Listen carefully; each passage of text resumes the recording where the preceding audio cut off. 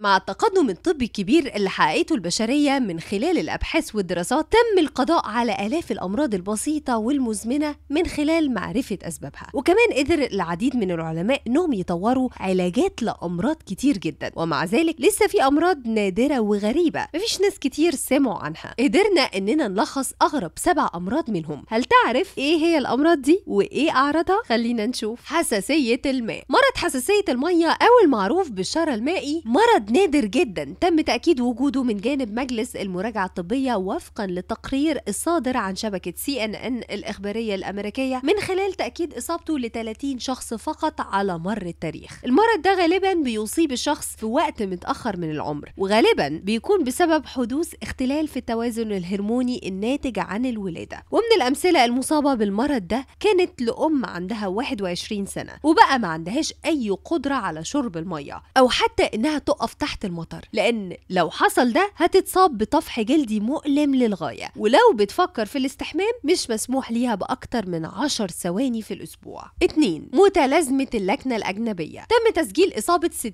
شخص فقط على مر التاريخ بالمرض ده. والمتلازمة دي عبارة عن إن شخص بيلاقي نفسه بشكل لا إرادي بيتكلم بلهجة غير مفهومة وغير معروفة. الأطباء في بداية الأمر رفضوا إنهم يعتبروها مشكلة نفسية. ولكن سنة 2002 لاحظ العلماء في جامعة أكسفورد في إنجلترا إن المصابين بيتشاركوا في تشوهات الدماغ نفسها. وده شيء بيعمل تغييرات واضحة في نبرة الكلام وإطالة أصوات الحروف المتحركة وأخطاء في النطق. ومن أمثلة المصابين بالمرض ده امرأة نرويجية سنة 1941 بقت بتتكلم بلهجة ألمانية قوية وده عمل لها مشاكل اجتماعية كبيرة. نتيجة العداء اللي كان موجود وقتها بين النرويج وألمانيا. 3 الضحك المميت. تم تسجيل مرض الموت الضاحك المعروف باسم كورو بشكل حصري لشعب غينيا الجديدة القبلي. وده باعتبارهم أكتر فئة مصابة بالمرض ده ومن أعراضه حالة انفجار مفاجئ من الضحك الهستيري. ولاحظ الأطباء في الولايات المتحدة الأمريكية واستراليا أن المصابين بالمرض ده بيعانوا من اهتزاز في الأطراف وأن العرض ده بيختفي تدريجيا بالراحة التامة. لكن غالبا بعد ثلاث شهور بيبدأ المرض في الانتشار بشكل أشرس وبيتسبب في فقدان القدرة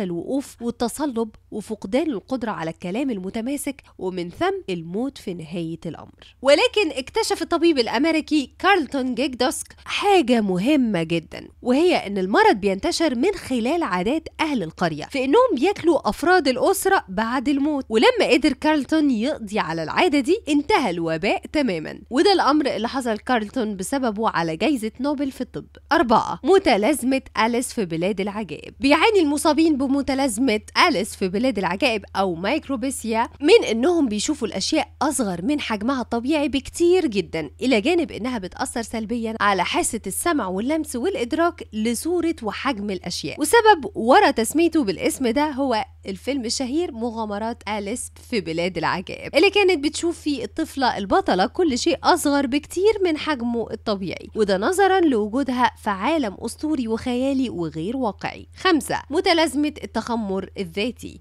وفقا لتقرير مؤسسة Medical News Today الطبية فإن مرض التخمر الذاتي أو تخمر الأمعاء هو مرض له طبيعة خاصة وده عشان جسم المريض بينتج في الأمعاء كحول نقي جدا بيسمى الإيثانول. بعد تناول الأطعمة الغنية بالكربوهيدرات ولأن الكبد في الغالب بيعالج الإيثانول ففي بعض حالات المرضى كبدهم مش بيشتغل بشكل صحيح. ومن أعراض المرض ده التجشؤ التعب المزمن الدوخة الارتباك الإفراط في تناول الكحول القولون العصبي. ستة متلازمة رائحة السمك. بيعاني مريض متلازمة رائحة السمك أو مرض. تريميثيل أمن من إن جسمه بيفرز ريحة كريهة جدا بتشبه بشكل كبير ريحة السمك المتعفن وده بيكون من خلال العرق والزفير والبول. وطبعا ده بيشكل حرج اجتماعي كبير جدا للمريض نتيجة نفور كل اللي حواليه بسبب الريحة دي. سبعة الأرق المميت.